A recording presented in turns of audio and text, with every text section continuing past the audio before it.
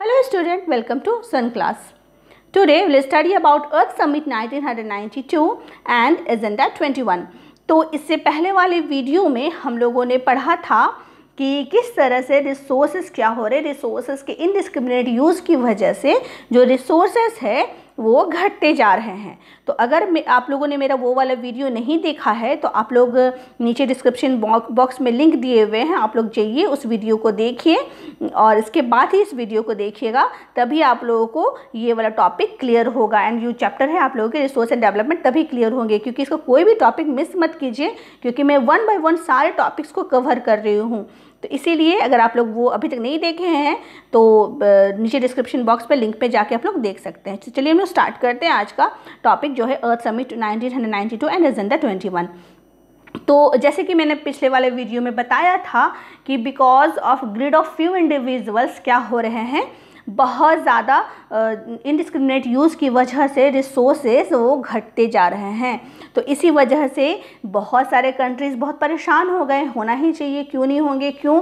क्योंकि रिसोर्सेज की ज़रूरत तो सबको होती है। और अगर उनमें कम, क्योंकि कुछ कुछ रिसोर्सेज तो हम लोगों ने पढ़ा था कि नॉन रिन्यूएबल होते हैं और नॉन रिन्यूएबल होने की वजह से वो क्या होते हैं, वो कई मिलियंस लग जाते हैं उनको फॉर्मेशन होने में। तो ऐसे रिसोर्सेज को तो कंजर्व करना बहुत ज़्यादा ज़रूरी है। अगर हम लोग उसको कंजर्व नहीं करेंगे तो वो ख़त्म हो जाएँगे। तो इसी वजह से बहुत सारे कंट्रीज़ क्या डिसाइड किए हैं कि हम लोगों को एक मीटिंग करना होगा, जिसमें ये सारे जो प्रॉब्लम्स है, उसके ऊपर डिस्कसन होना चाहिए। तो इसी सिलसिले में उन्होंने एक मीटिंग किया, जो कहाँ हुआ? रियो डिजेनेरियो ब्राज़ील में। रियो डिजेनेरियो कहाँ? ब्राज़ील में, जून 1992 में। ठीक है? उसका नाम दिया गया अर्थ समिट 1992 तो ये जो कन्वेंसन था, ये इसमें क्या हुआ? इसमें क्या क्या मेन प्रॉब्लम्स डिस्कस किए गए? इन्वायरमेंटल प्रोटेक्शन के बारे में एंड सोशियो इकोनॉमिक डेवलपमेंट के बारे में। और ये ग्लोबल लेवल पे, ऐसा नहीं कि सिर्फ़ एक शहर का बात हुआ, या एक स्टेट या फिर एक कंट्रीज़ का, ये ग्लोबल लेवल में मतलब हर हर तरफ़ ये हर जितना सारे कंट्रीज़ थे, सब मिल के अपने अपने प्रॉब्लम्स को बताएँ। इन्वायरमेंटल किस तरह से हम लोग इन्वायरमेंट को प्रोटेक्शन दे सकते हैं, हम लोग किस तरह से अपने वातावरण को बचाए रख सकते हैं, किस तरह से जो रिसोर्सेस है ख़ासतौर पर जो नेचुरल रिसोर्सेस है, उनको किस तरह से प्रोटेक्ट किया जाना चाहिए ताकि जो प्रॉब्लम्स है वो क्रिएट ना हो। कैसे सोशियो इकोनॉमिक डेवलपमेंट होना चाहिए? मतलब कि आम लोगों तक कैसे ये बात पहुँचानी होगी? कि रिसोर्सेस हमारा कितना इंपॉर्टेंट है हमारे लिए और उन लोगों को हमें बचाए रखना है। यानी कि सोशल रूप से इकोनॉमिक रूप से लोगों को डेवलप करा, कराना है। तो ये सब सारे चीज़ों के ऊपर बातें हुई और क्या हुआ? एक एजेंडा निकला। ठीक है, एक एजेंडा निकला। उसके बाद जितने लोग जमा थे the jumble leader sign the declaration on the global climatic change and biological diversity उसके बाद क्या हुआ है? वहाँ जो थे, वहाँ करीब करीब 100 मतलब 100 से भी ज़्यादा कंट्रीज़ के लोग वहाँ पर शामिल थे। कहाँ पे? रियो डिजनेरियो मीटिंग में शामिल थे और वहाँ पर वो जो सम्मेलन था, वो पूरा वर्ल्ड लेवल पे था और उसमें बात किए गए थे। इन्वायरमेंटल प्रोडक्शन के बारे में किस तरह हम लोग अपने पर्यावरण को संरक्षण दे सकते हैं और सामाजिक, आर्थिक सोशियो इकोनॉमिक डेवलपमेंट किस तरह से होना चाहिए।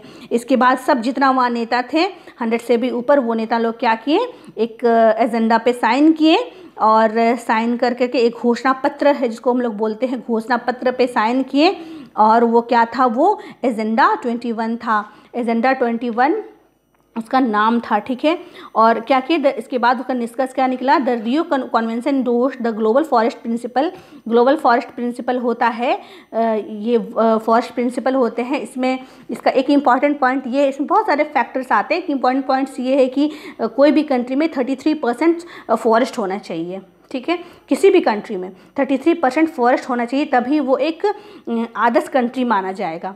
तो ये हमारे अभी फ़िलहाल तो ये हमारे इंडिया में भी ट्वेंटी थ्री परसेंट नहीं है ट्वेंटी फोर परसेंट कुछ है ये फॉरेस्ट तो थर्टी थ्री परसेंट तो नहीं है। तो अभी भी हम लोग पीछे चल रहे हैं ये अदर्स कंट्री के हिसाब से। तो क्या है ये सब सारा किया गया वहाँ पर? एंड क्या गया? एजेंडा ट्वेंटी वन को अडॉप्ट किया गया। तो ये जो अर्थ समिट हुआ, इसका आउटकम क्या हुआ? एजेंडा ट्वेंटी वन तो चलो हम लोग देखते हैं कि एजेंडा ट्वेंटी वन क्या है।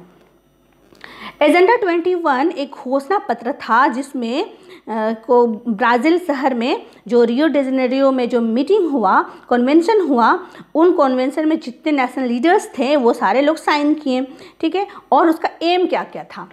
एक एजेंडा ट्वेंटी वन एक क्या था? एक लेटर्स था, जिसमें, जिसको हर लोग को साइन करना था। मतलब कहने का मतलब एक ट्रिटी है, समझौता किया गया और ये सब हमारे अपने अपने कंट्रीज़ में लागू करना ही होगा। तो क्या क्या उसका एम था? चलो देखते हैं। तो अचीविंग ग्लोबल सस्टेनेबल डेवलपमेंट जैसे मैंने बताया कि सस्टेनेबल डेवलपमेंट पिछले वाले वीडियो में क्लियर करा है मैंने सस्टेनेबल डेवलपमेंट क्या होता है? तो सस्टेनेबल डेवलपमेंट अचीव करना है ग्लोबल लेवल पे। मतलब कि डेवलपमेंट ज़रूर करो भाई डेवलपमेंट करना ही चाहिए बट ऐसा नहीं कि डेवलपमेंट की वजह से नेक्स्ट फ्यूचर जनरेशन को कोई नुकसान पहुँचे। हम्म, ठीक है? तो डेवलपमेंट ऐसा होना चाहिए कि डेवलप हो भी रहा है एंड क्या है? किसी को कोई नुकसान भी नहीं पहुँच रहा। आगे आने वाले जनरेशन को कोई नुकसान भी नहीं पहुँच रहा है। तो ये होता है सस्टेनेबल डेवलपमेंट ठीक है? तो इस पर ज़्यादा फोकस किया गया। सस्टेनेबल डेवलपमेंट डेवलपमेंट में and to combat environmental damage poverty and disease किसमें किससे किससे लड़ना था हम लोग को कि पर्यावरणीय क्षति से मतलब इन्वायरमेंटल डैमेज से, गरीबी से और रोगों से। ठीक है? गरीबी भी हटाना था ताकि जो एक्यूमुलेशन हो रहा था रिसोर्सेज का, जो पिछले वाले वीडियो मैंने क्लियर किया है, वो ना हो रिसोर्सेज क्या हो, समान बटे सब में एंड इन्वायरमेंटल डैमेज ना हो, ताकि जो रिसोर्सेज का इंडिस्क्रिमिनेट यूज़ जो बहुत ज़्यादा हो रहा है, वो ना हो एंड क्या है एंड डिज़ीज़ भी, बीमारी भी ना रहे। तो ये सब मिल करके सब कोई को सब क्या होना था, सबसे मिल के इसको चीज़ को लागू करना था। And last and important one क्या था कि हर ग्लो, हर लोगों को every global every local government should grow its own local agenda मतलब कि हर लोगों को, हर लोकल गवर्नमेंट को अपना लोकल एजेंडा ट्वेंटी वन लागू करना है। मतलब ये क्या हर कंट्रीज़ को अपना लोकल एजेंडा ट्वेंटी वन लागू करना है। तभी क्या हो जाएगा? ये जो रिसोर्सेज का जो इनडिस्क्रिमिनेट यूज़ हो रहा है ये रुकेगा। बिकॉज़ रिसोर्सेज को सिर्फ़ यूज़ करना ही काफ़ी नहीं है उसको बचाना भी बहुत ज़रूरी है। इसीलिए रिसोर्सेज प्लानिंग को का होना भी बहुत ज़रूरी है। तो ये सब सारे थे रिसोर्सेज प्लानिंग के तहत एक प्रोसेस थे। एंड इसके बाद सब कंट्रीज़ अपने अपने कंट्री में आ, सब लोग अपने अपने कंट्रीज़ में आके रिसोर्सेज प्लानिंग किए। तो वो रिसोर्सेज प्लानिंग क्यों ज़रूरी है? वो किस किस तरह से हुए? ये हम लोग नेक्स्ट वीडियो में देखेंगे। सो आई होप कि आप लोगों को ये टॉपिक क्लियर हो गया होगा and if you like it then subscribe it thank you